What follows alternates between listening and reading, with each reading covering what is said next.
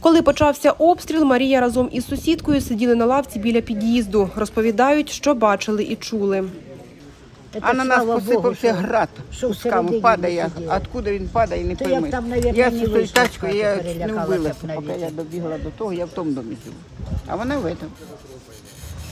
І все. А потім і дим, і еті їдуть, і пожарки, і всі на світі. Ну, мою квартиру не тронули, так що. Моя квартира угловая, нікому не треба. А вони посередині, середню тронули. Да, чотири квартири. От ще На- на одной ніхто не живе. да, Шура? А на второй забрали в больницю. Анатолій в момент вибуху був в себе в квартирі. Каже, було дуже гучно.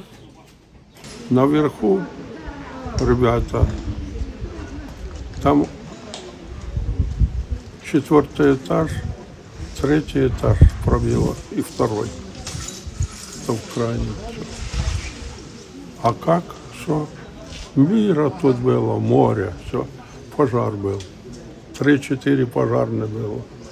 Тушили женщину одну, ноги там что-то по это, там забрала скорая, пам'ятаю.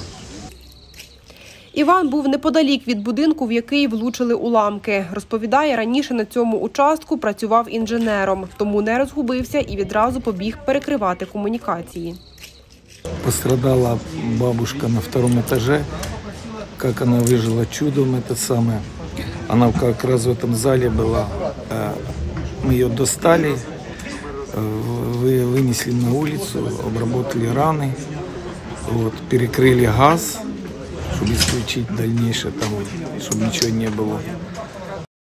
В результаті обстрілів загиблих немає. Травми отримала одна літня жінка. Її госпіталізували. За інформацією військової комендатури оборони міста Миколаєва, війська Російської Федерації вели обстріл з ракетної системи залпового вогню Ураган. Вікторія Андрушків, Єлизавета Кротик. Єдині новини на Суспільному. Миколаїв.